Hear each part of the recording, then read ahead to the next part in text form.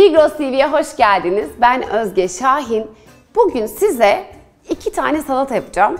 Ve diyeceğim ki salatalarınıza artık yağ eklemeyin diyeceğim. Yağsız salata olur mu diyeceksiniz bana değil mi? Ne kadar lezzetsiz olur, sası olur, yenmez. Bazen salatalarda yağ miktarını çok kaçırıyoruz.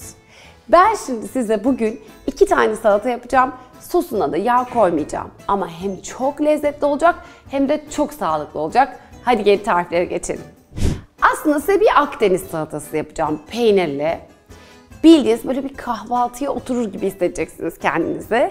Göbek salatam var, avokadom var, limonum var. Aslında hem bakın limonu sıktım, kabuğunu atmadım. Çok güzel şeyler göstereceğim size şimdi. O kabuklar ne hale geldi göreceksiniz. Yoğurt var, avokado var, domates var, salatalık var, sarımsak var. Bir de böyle güzel peynirlerim var. Göbekte salatam var. O zaman marulu kesmekle başlayalım.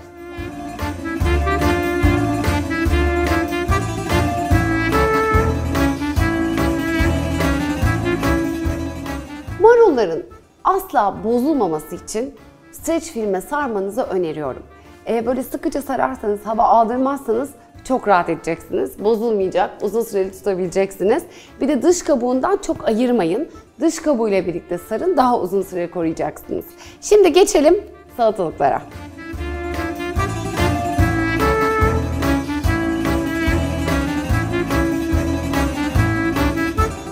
Salatalıkların kabuğunu gayet güzel şekilde fırçalayarak yıkadım. O yüzden de kabuklu şekilde salatama koyuyorum. Hem daha lezzetli oluyor hem de her zaman vitamini kabuğunda biliyorsunuz.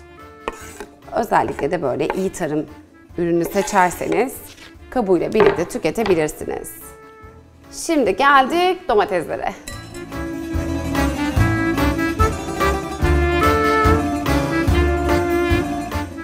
Yaz olduğunda, eğer mevsim yazsa domates benim için bambaşka bir şey oluyor.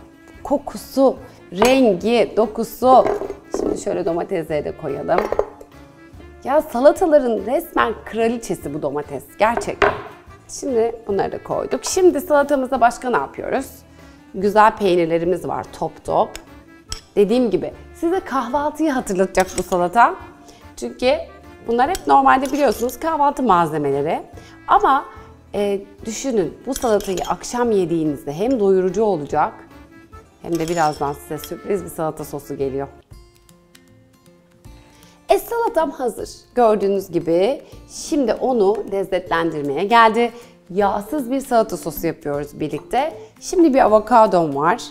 Hemen şöyle avokadoyu aldım. Ortadan ikiye kesiyorum. Yapalım. Hop. En kolay avokado ayıklama yöntemi bu. Şimdi kaşıkla içine şöyle alıyorum tamamıyla. İyice de kazıyorum hiçbir şey kalmasın diye. Bakın size kurumuş bir avokado kabuğu göstereyim mi? Bu kabuk bir süre sonra buna dönüyor. Benim evim kurumuş kabuk diyarı öyle söyleyeyim size. Bunu ne yapıyorsunuz diyeceksiniz. Smoothie'lere koyuyorum. Bunu eğer bir blenderda ya da öğütücüde öğüttüğünüzde yemyeşil bir toz oluyor. Dediğim gibi organik e, ilaçsız bir avokadoysa ve güzelce yıkadığınızda smoothie'lerine koyabileceğiniz bir kuvvetiniz var. Yeşil kuvvetiniz. Evet. Şimdi bunu da alalım. Hemen içinden çıkaralım fıstık gibi ve çok güzel bir avokado olmuş. Bazen avokadonun e, maalesef içini açtığınızda iyi çıkmayabiliyor. Güzel, harika, süper. Şimdi bunu biraz böyle doğrayalım. Hafif. Sonra da size bir yöntem göstereceğim. Avokadoyu ezmenin en kolay yöntemi nedir diye sorun bana. Patates ezicisi derim. Çünkü çatalla hakikaten yoruluyorsunuz. Ama size 2 dakikada müthiş bir avokado püresini bu eziciyle yapabilirim.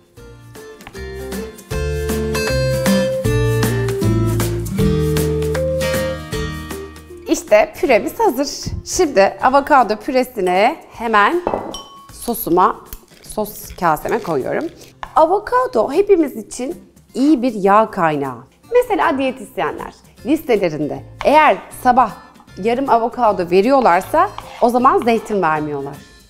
Yani avokado gerçekten dikkatli tüketilmesi gereken çok iyi bir yağ kaynağı. Özellikle biz hanımlar için. O yüzden eksik etmeyin diyorum menünüzden. Şimdi buraya avokadoyu koyduk. Biraz böyle ipeksi, güzel bir kıvam yakalamak için içine yoğurt koyuyorum.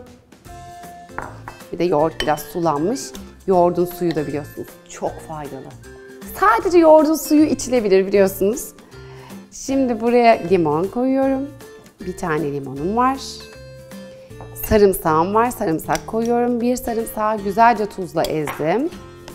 Şimdi böyle karıştırıyorum. Hatta benim bir çırpıcım var. Onunla karıştıracağım. Bu arada size bir şey göstermek istiyorum. Demin ben bu limon suyunu e, sıktım. Limonlar da burada duruyor. E biliyorsunuz ben artık atıksız mutfak çalışıyorum. Ne yaptım bu limonu? Bakın. Şöyle hemen göstereyim. Ortadan ikiye böldüm. İyice sıkmıştım biliyorsunuz. Şöyle e, zarından limonun içine ayırıyorum. Çünkü artık burası kullanılmayan bölüm. Güzel. Burayı ayırdık. Kabuğu iyice fırçalamıştık zaten. Şimdi burasını bakın böyle kurutuyorum. İsterseniz böyle kurutabilirsiniz. İsterseniz böyle böyle bu hale getirebilirsiniz. Sonra yine öğütücüden çekebilirsiniz. Ve ben şimdi size bunu gösterdim. Bunu buraya koyuyorum. Burası atılıyor ama kabuğu atmıyoruz. Gerçekten çok faydalı. Şimdi bakın bu limon tozundan muhakkak salatama koyacağım. Hem limon suyu koydum hem limon tozu koyuyorum. Peki bu toz ne yapıyor? Müthiş bakın. Burası nasıl güzel kokuyor. Ee, mesela tavuk mu marine ediyorsunuz? Koyun limon tozunu. Ya da balık mı yapıyorsunuz? Muhakkak limon tozu koyun. Yani e, çok güzel rahiya veriyor. Bir de bu kadar faydalı bir şeyi biz niye atıyoruz diye insan düşünüyor. Hadi gelin. Şimdi şöyle biliyorsunuz ben şu anda zeytinyağı kullanmadan e, salata sosu yapıyorum. En son sosa biraz da tuz ekledim. Evet tam böyle dökülecek bir salata sosu oldu gördüğünüz gibi. Ne kadar güzel kıvamı değil mi? Mis gibi limon ve avokado kokuyor. Harika. O zaman bu yağsız salata sosumuzu şimdi artık dökebiliriz.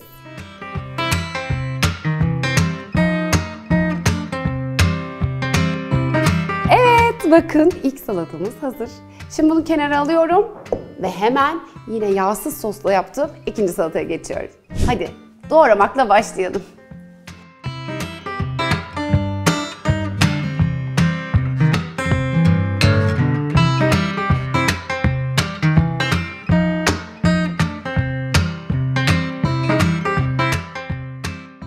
Şimdi sırada yeşilliklerim var.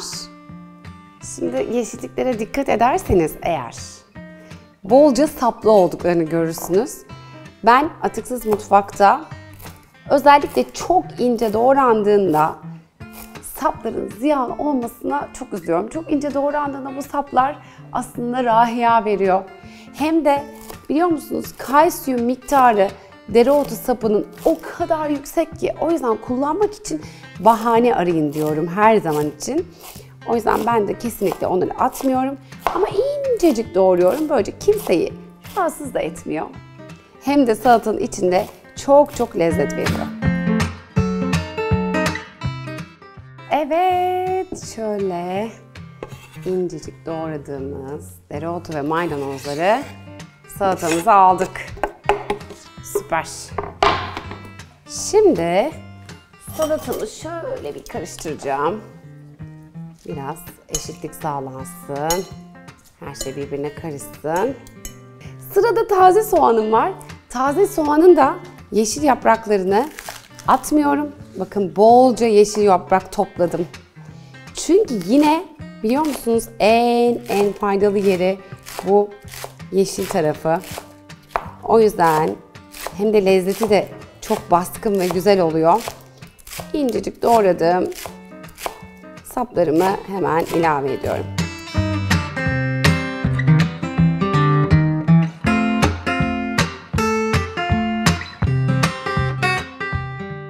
Evet bakın şimdi yeşilliklerim hazır. çok da güzel oldu. Ne koyduk? Göbek salata koyduk, taze soğan koyduk, dereotu koyduk, maydanoz koyduk. Şimdi üzerine şöyle biraz bir nohut koyalım ki salatanın doyuruculuğu, besleyiciliği artsın. Şimdi gelelim yağsız salata sosuna. Hemen yoğurdumu alıyorum. Evet şöyle. Tahinimi alıyorum. Tahin de gerçekten susam yağından dolayı hem e, hani yağ oranı yüksek ama aynı zamanda iyi yağ. İçinde magnezyum var, kalsiyum var. E, sayamayacağınız kadar e, fazla değeri var. Ve salata soslarına çok yakışıyor. Ben şimdi içine limon koydum. Bir limonun suyu var burada. Biraz tuz ilave ediyorum. Zaten salataya tuz koymamıştım hatırlarsanız. Hemen şöyle bir tane güzel tuzla yine ezilmiş sarımsağı koyuyorum. Hafif toz kırmızı biber ilave ediyorum. Çok yakışır birbirine. Biraz da kimyon koyacağım. E, çünkü normalde nohutu pişirirken de içine kimyon koyarız. Çünkü e, nohutun bize gaz yapmasını engeller. Yine aynı taktikle salata sosuna da kimyon koyuyoruz. Çünkü baklagillerin gaz yapmasını bize engelliyor. O kadar lezzetli bir sos oldu ki bu da. Bayılacaksınız. Ama şu salata sosunu iyice çırpmakta fayda var. Evet, sosumuz hazır. Hadi gelin birlikte şöyle salataya dökelim.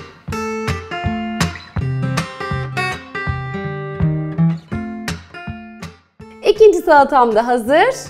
Diğer salatayı da soğutuyordum. Hemen onu da getiriyorum. Görüşürüz. Biliyorum herkes formuna dikkat ediyor ve salata yemeyi çok seviyoruz. Yağsız iki tane salata sosu yaptım. Biri avokadolu, bir de tahinli. Bu iki tarifi de çok beğeneceksiniz. Efendim Migros TV'de yeniden görüşmek üzere. Şimdilik hoşçakalın, kendinize iyi bakın.